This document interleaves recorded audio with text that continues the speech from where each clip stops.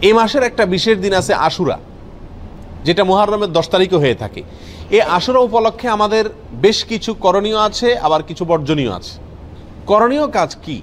সে বিষয়ে বলার আগে বলতে চাই, নবী করিম সাল্লা সাল্লাম মক্কা থেকে যখন মদিনা হিজরত করে আসলেন, তিনি দেখলেন যে মদিনার মানুষেরা ইয়াহুদিরা মদিনা ইয়াহুদিদের বসবাস ছিল, তাদেরকে তিনি দেখতে পেলেন যে তারা আশুরার দিন, অর্থাৎ মহারমের দশ তারিখে রোজা রাখে।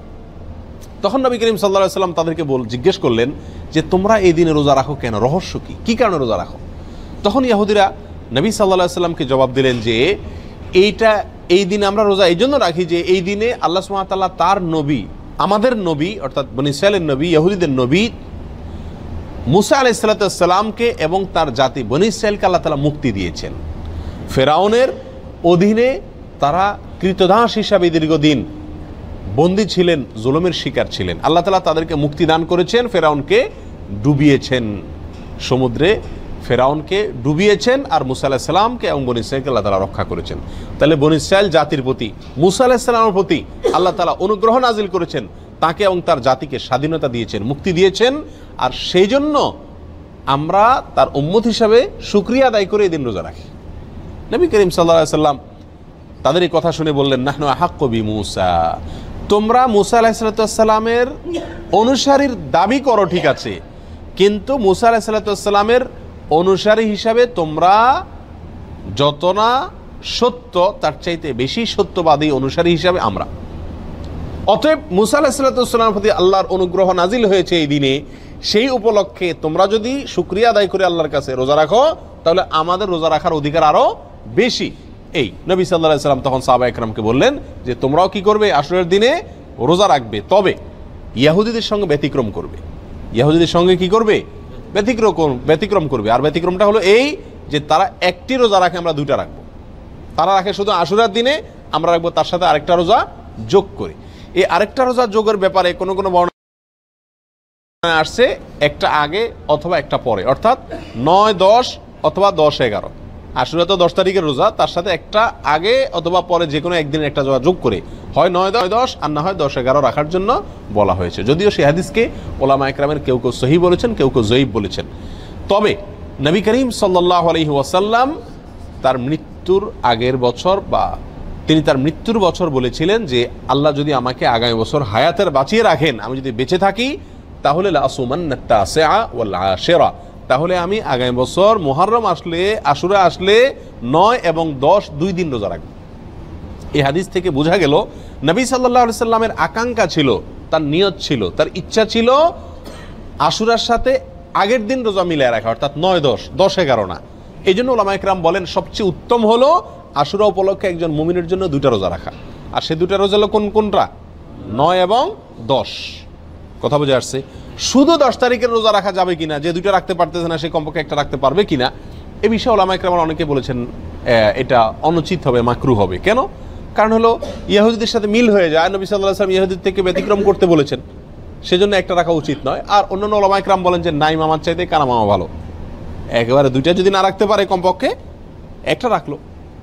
কথা বুঝে আসছে? তো যাই হোক, দুইটা রাখা উত্তম, আর সেটা হলো নয় এবং দশ।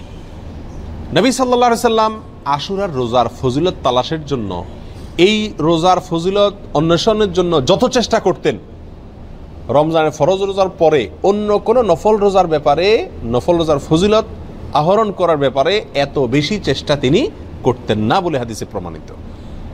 এক বর্ণনা আসছে, নবী সাল্লা সাল্লাম বলেছেন, আবু হরাই রাদিল্লাহ তোমার বর্ণনা করছেন হাদিসটি, যে ইম সাল্লাহ সাল্লাম ইরশাদ করেছেন, সিয়াম ইয়মে আশুরা আহতাসিবু আল্লাহ আইয়ুকাফির সানাতাল্লাতি কাবলা আশুরার দিনে যদি কেউ রোজা রাখে, আল্লাহর প্রতি আমার ধারণা হলো আল্লাহ তালা তার পিছনের এক বছরের গুণা মাফ করে দিবেন। ছোট ছোট যে অপরাধগুলো হয়ে থাকে, এগুলো আল্লাহ তালা মাফ করে দিবেন। যদি কেউ কি রাখে আশুরার, রোজা রাখে। প্রিয় ভাইয়েরা, এই রোজার এত বেশি গুরুত্ব যে মদিনাতে সাহাবা একরাম ফরজ রোজা ছাড়া কোন অন্য কোন নফল রোজার জন্য নিজের শিশুদেরকে রোজা রাখাইতেন না বা রাখাইতেন বলে জানা যায় না।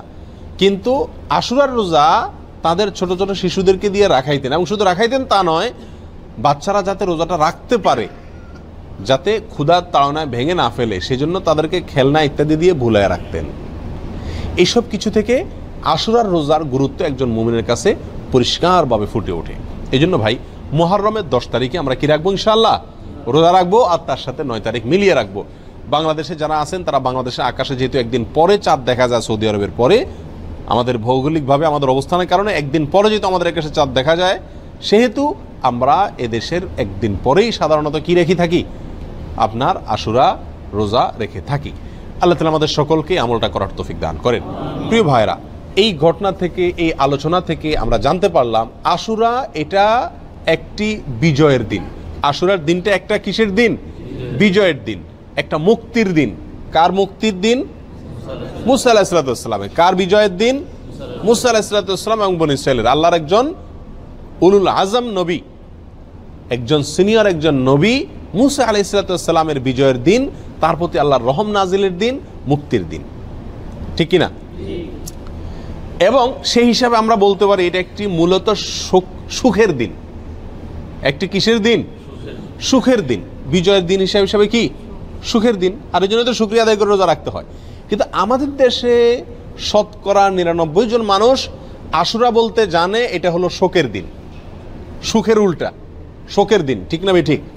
আমাদের দেশে মানুষ জানে আশুরা মানে কারবালার দিন। আশুরা মানে কিসের দিন ভাই? কারবালার দিন।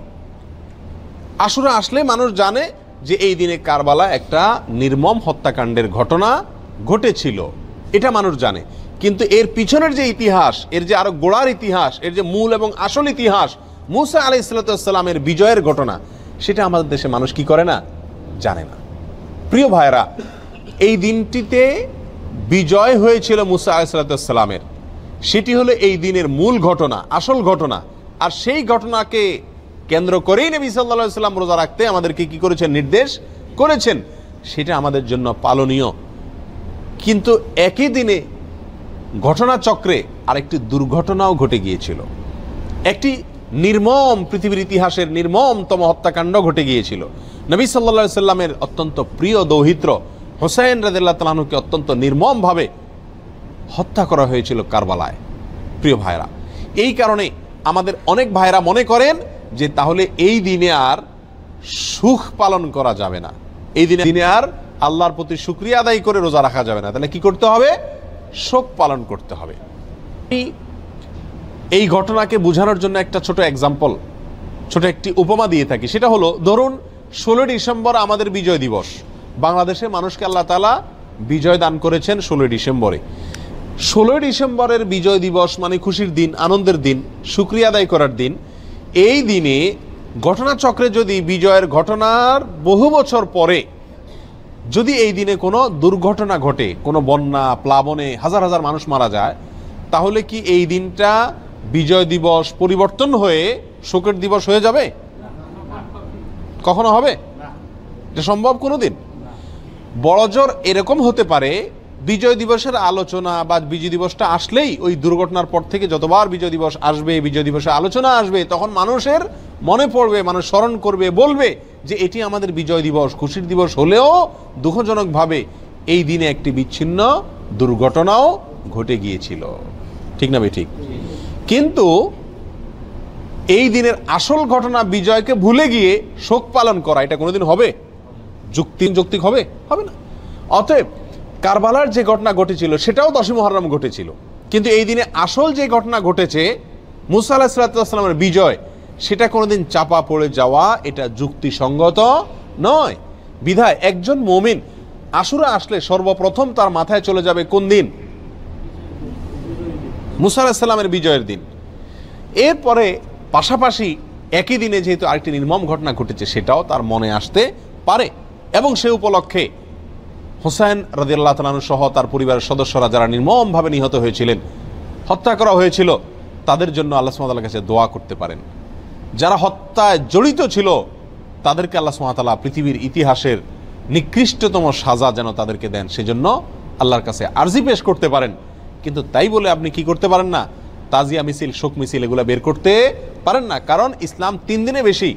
কোনো মৃত্যুতে, কোনো দুর্ঘটনায় শোক পালন করার সুযোগ, অনুমতি দেয় নাই। অতএব রাজনৈতিক আপনার বিভিন্ন দলগুলো তাদের শোক পালন করে থাকে বছরকে বছর, যুগ যুগ ধরে। সেটা ভিন্ন বিষয়। কিন্তু ইসলামী শরীয়তে কোনো মানুষের মৃত্যুর পরে তিন দিনের বেশি শোক পালন করার কোনো সুযোগ, অনুমোদন নাই, প্রিয় ভাইরা অতএব আশুরা উপলক্ষে প্রথম আমাদেরকে খেয়াল রাখতে হবে যে আমাদের ধারণাটাকে পরিবর্তন করতে হবে। এই দিনটি কারবালার দিন নয়, এই দিনটি হলো মুসা আলাহিসাল্লামের বিজয়ের দিন। পাশাপাশি কারবালা ঘটনাও ঘটেছে। আল্লাহ তালা আমাদেরকে সঠিকটা বোঝার তৌফিক দান করেন। প্রিয় ভাইয়েরা, এখন আমরা এই দিনে কি আসলে যেহেতু দুইটা ঘটনায় ঘটছে, কোনটাকে আমরা বড় করে দেখব? মুসা আলাহিসাল্লামের বিজয়কে বড় করে দেখব, নাকি হোসেন রাদিল্লাহ তালানহুর মৃত্যুকে, শাহাদাতকে, শোকের দিনটাকে, শোকটাকে বড় করে দেখব। কোনটাকে বড় করে দেখব? মুসা আলাহিসাল্লামের বিজয়টাকে বড় করে দেখব। কেন? দুই কারণ। নাম্বার এক, মুসা আলাহিসাল্লামের বিজয়ের খবর দিয়ে গেছেন মোহাম্মদ সাল্লা সাল্লাম এবং তিনি ওই বিজয় পালন করা, রোজা রেখে, রোজা রাখার মাধ্যমে সেই বিজয় পালন করার জন্য আমাদেরকে শিক্ষা দিয়ে গেছেন। ঠিক না ভাই? ঠিক। সুক্রিয়া আদায় করার জন্য রোজা রাখার আদর্শ তিনি রেখে গেছেন। তার আদর্শ পরিবর্তন হওয়ার কোনো সুযোগ আছে? আল্লাহ সুবহানাহু বলেছেন আল ইয়াউমা আকমালতু লাকুম দীনাকুম ওয়া আতমামতু আলাইকুম নিআমাতি ওয়া রাদিতু লাকুম ইসলাম দীনা। তোমাদের প্রতি আজ আমি ইসলামকে পরিপূর্ণ, আমার নিয়ামতকে পরিপূর্ণ করে দিয়েছি।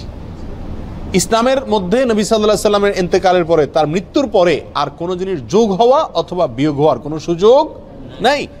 অতএব নবী সাল্লাহ সাল্লামের মৃত্যুর বহু বছর পরে কারবালার ঘটনা ঘটেছে। বিধায় কারবালার ঘটনাকে কেন্দ্র করে কোনো কর্মসূচি যদি দিতে হয় একই দিনে নবী সাল্লাহ সাল্লামের কর্মসূচি থাকে, দেওয়া কর্মসূচি থাকে, তাহলে কোনটা অগ্রাধিকার পাওয়ার কথা? নবী সাল্লাহ সাল্লামের দেওয়া কর্মসূচি, তার শেখানো, বাতানো আমলের অগ্রাধিকার হওয়া যুক্তির দাবি। ঠিক না ঠিক প্রিয় ভাইয়েরা, অতএব এই দিনে আমাদের যে ভুল একটি কালচার আমাদের সমাজে প্রচলিত আছে, সেটা হলো এই দিন উপলক্ষে আমাদের সমাজে সবচেয়ে বড় ভুল, এই দিন উপলক্ষে সবচেয়ে বড় ভুল হলো যে এই দিনটাকে আমরা মনে করি কারবালার দিন। এই দিনটার আসল ইতিহাসটাকে আমরা জানি না। প্রিয় ভাইরা এর পিছনে আমাদের মিডিয়ার বিশাল বড় ভূমিকা। আমাদের দেশের যে সমস্ত মিডিয়া আছে, সেটা প্রিন্ট মিডিয়া হোক আর ইলেকট্রনিক মিডিয়া হোক, এই সব মিডিয়াগুলো সব সময় দেখবেন সুন্নাহকে কখনো এরা প্রচার করে না। সবসময় বেদাতকে ফলাও করে এবং প্রচার করে। সুন্নাকে দমিয়ে রাখার চেষ্টা করে মিডিয়াগুলো। যেমন এই আশুরাকে কেন্দ্র করে আপনারা দেখবেন ঢাকা শহরের পুরান ঢাকায় মিরপুরে দুই একটা জায়গাতে দুইশো, দেড়শো, একশো ছোট ছোট বাচ্চা পোলা পান এরা তাজিয়া মিছিল মানে শোক মিছিল বের করে। কারবালার ঘটনাকে স্মরণ করে আশুরার দিনে শোক মিছিল বের করে। ওই মিছিলের ঘটনাকে, ওই মিছিলকে আপনার সারাদিন টেলিভিশন, রেডিও, পত্রপত্রিকায় ফলাও করে প্রকাশ করে। এবং ওই দিনের সংবাদের অন্যতম শিরোনাম থাকে সমস্ত মিডিয়াগুলোতে, আজ পবিত্র আশুরা। আজকের এই দিনে মহানবী হজরত মোহাম্মদ সাল্লা সাল্লামের প্রিয় দৌহিত্র হুসাইন রেদাল্লাহ তালাহুকে কারবালার প্রান্তরে, ইরাকের কারবালার প্রান্তরে নির্মমভাবে শহীদ করেছে অমুক অমুক অমুক, অমুকে। এখানে বলতে বলতে কোনো কোনো মিডিয়াতে, বিশেষ করে রেডিও চ্যানেলগুলোতে বিশিষ্ট সাহাবি, কোরআনের লেখক, ওহির লেখক মুয়াবিয়া রাজাল্লাহ তালকে অকথ্য ভাষায় গালিগালাজ করা হয়। কথা বুঝে আসছে? এবং সংবাদে আরও বলা হয়, এই দিনটি উপলক্ষে রাজধানী ঢাকা সহ দেশের বিভিন্ন জায়গায় তাজিয়া মিছিল বের করা হয়েছে, অর্থাৎ শোক মিছিল বের করা হয়েছে। প্রিয় ভাইরা দেড়শো দুইশো লোকের দুই তিনটা মিছিল এটা সারাদিন সংবাদে বলে।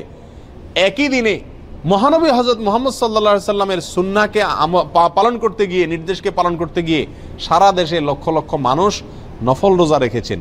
সেই কথা কিন্তু কোনো মিডিয়া কি করে না বলে?